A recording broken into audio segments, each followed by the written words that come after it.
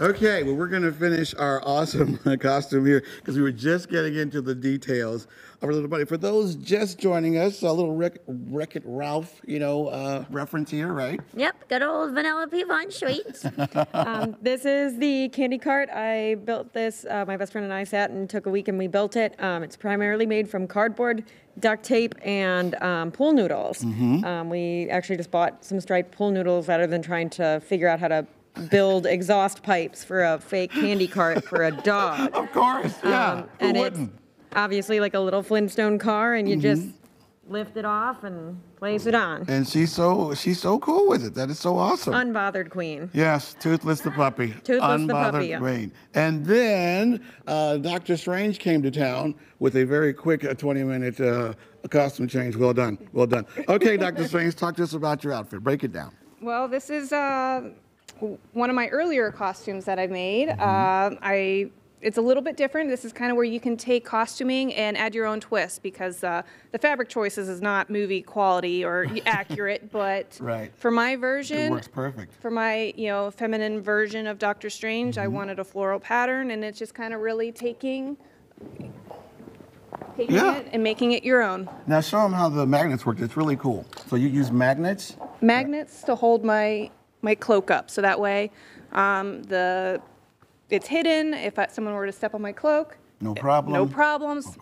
So And one thing you guys were mentioning that in terms of travel too, they really help when you're traveling because you know you you have to you travel and you don't want to break everything that you already made. So magnets work out well. magnets are kind of my go-to favorite thing in Mm-hmm. uh, with costuming Awesome. Okay, and over here, this is great. So you you went online. I remember paying 35 bucks for my Walkman. When you went online to see how much they cost now, how much do they cost? So after the Guardians of the Galaxy movie came out, like this specific Walkman, which came out in the 80s, 70s, Yes, 'cause I was in high school. Uh, Yeah.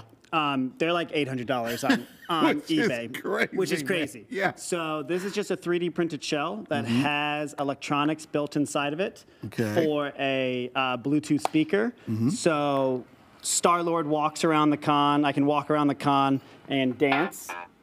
So I can turn on music just Yep. right from my phone, and So it plays, and I can attach it to my belt, and you can just dance and just like Star Lord would in the movie. Of course. Yeah. All right. And Paige, last but not, not least, I'll get on this side.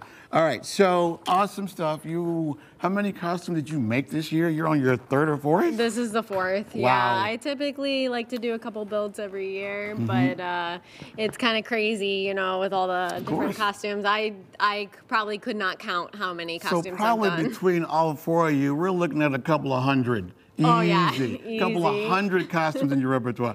But, but if you guys have learned anything, be creative, right? For those at home, just be creative and use your imagination, right? If you're looking at the out for Halloween costumes for amateurs like us. Yeah, yeah. You know, don't feel bad about not being able to make anything. You know, Mm-hmm. buying it is perfectly fine. Uh, I guess the best advice if you are going to be buying your costume, just give it a nice steam, nice iron, and you'll be good to go. Awesome. Good stuff. You guys, thank you so much. So awesome. You guys, all the wardrobe changes, that was amazing. I want to thank your mom and dad for coming. They're part of the family now. You can't come without your mom and dad. That's so cool. All right, Wayne, I hope we gave you some great ideas. I mean, you look like the Dapper Dan, so maybe that's your costume. Wayne Dawson is Dapper Dan. I'm in costume.